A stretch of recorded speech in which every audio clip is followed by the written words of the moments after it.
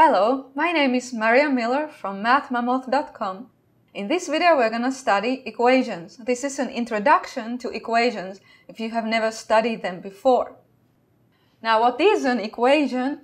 It is something where you have an expression on one side, equal sign in between, and an expression on the other side. Now what is an expression you might wonder? That is something that has numbers and letters and mathematical operations like addition, subtraction, multiplication, square root, exponentiation, and so on. I have examples here of equations. On this side, there is an expression, equal sign, and then on this side there is another expression. Of course, we call them, call these two sides the left and right sides of the equation. Here's an equation, 0 equals 10. It is an equation, but it's a false equation, okay? And here's an equation x plus x squared minus 15 equals 0. On this side, on the right side, we have an expression because a single number is an expression. And this is an expression, there's letters and numbers and mathematical operations. Same is true of here, there's 2 divided by square root of x equals negative 5 divided by 2x squared. There's an expression, equal sign, and an expression. So it's an equation. What do we do with equations then? Is usually we try to solve them.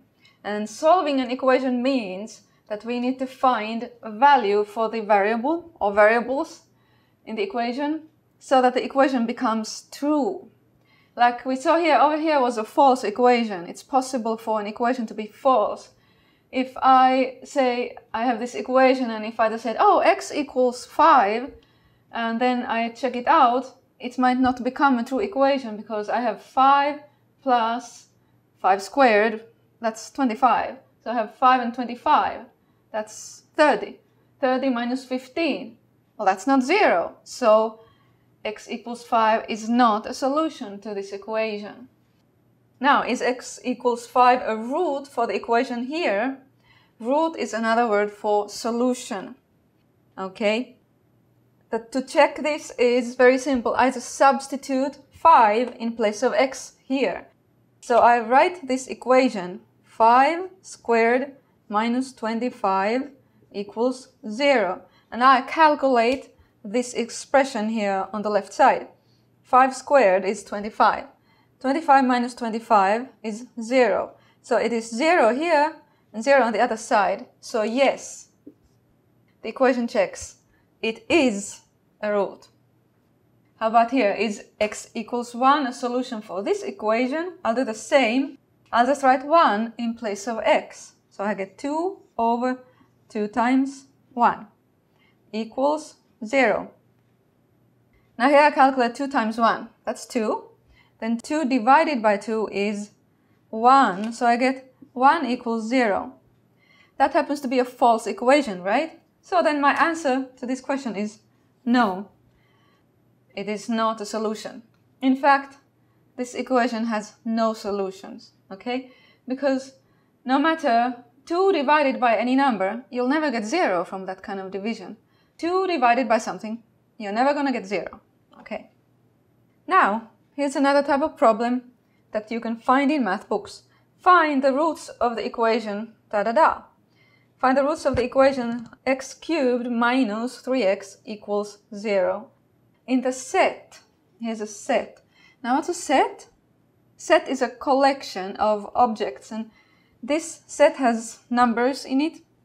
And um, when we need to find the roots of the equation in this set, then all you need to do is try each one of these numbers here in the equation and check if it makes it true. And this equation might have a solution here. It might also have other solutions, some numbers that are not in this set, but we don't have to worry about those at all. All you need to do is try if any of those would fulfill this equation. So let's try 0, for example. Okay, so I will write 0 to the third power minus 3 times 0 equals 0. Okay, this is 0 minus 0. This is a true equation. So 0 is a root, okay? Let me circle it. 0 is a root. Then I'll try 5. 5 to the third power minus 3 times 5 equals 0. This is 125, this is 15. Nope, this is a false equation now, so that didn't work. Then I tried 2. 2 to the third power minus 3 times 2. This is 8, this is 6. No. Then 1. 1 to the third power minus 3 times 1. This is 1. This is 3. Nope.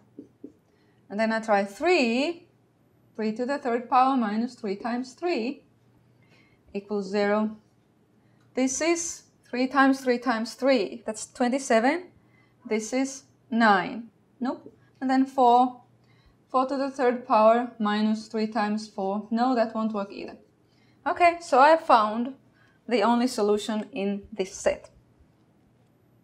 Now, let's study a little bit how to solve equations, how to solve simple equations. The solving of equation is based on this principle that you can add the same number to both sides of the equation and it still stays equal. The equality stays there. And you can subtract the same number from both sides of the equation and the, the both sides will still stay equal.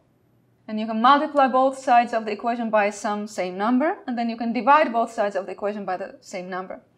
I have illustrated these principles in my other videos that have problems with pan balance, okay? You can think of a seesaw or a balance that has two sides, okay?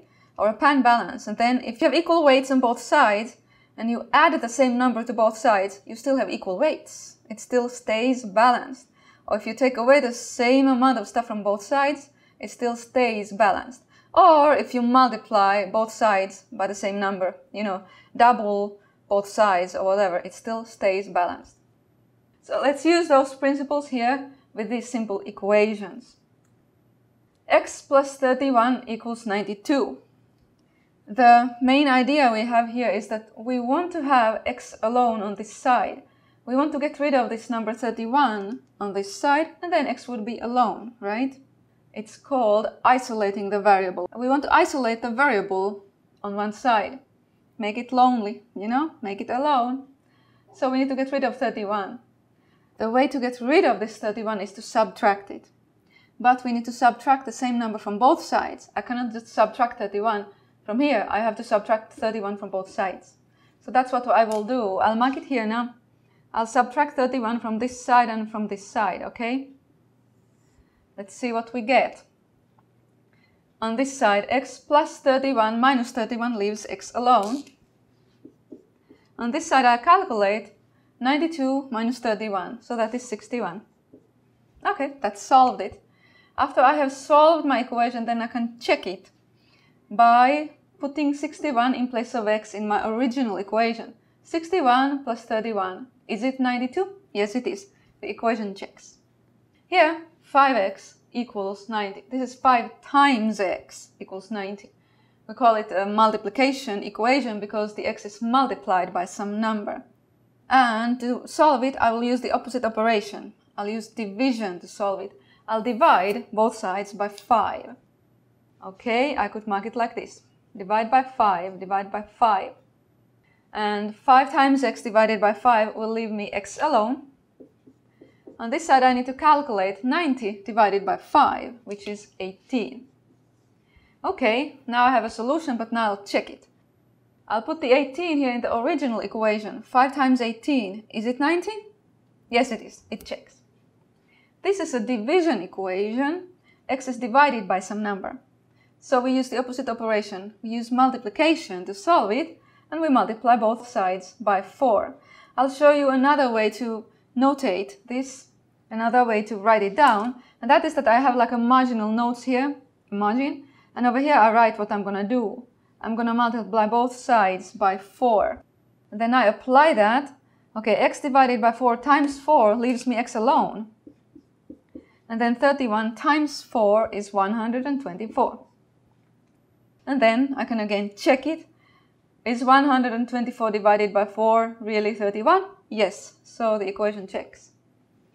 Here, an addition equation, okay, because to the variable we add 5.2. This might look simpler if you switch these two numbers y and 5.2 like this. Because you can add in any order, right? So it's fine to switch these. And now we can see what we need to do is subtract, okay? Subtract this number from both sides. I'll use my marginal note here. I'm gonna subtract this number from both sides. And it leaves y alone, which is what we want. y is isolated now. And over here on the other side, I need to subtract 8.6 minus 5.2. And that would be 3.4. Again, the last step is to check. Put this number here, back here. 5.2 plus 3.4. Is it really 8.6? Yes, so it checks. Over here, think about this for a moment. Can you solve it?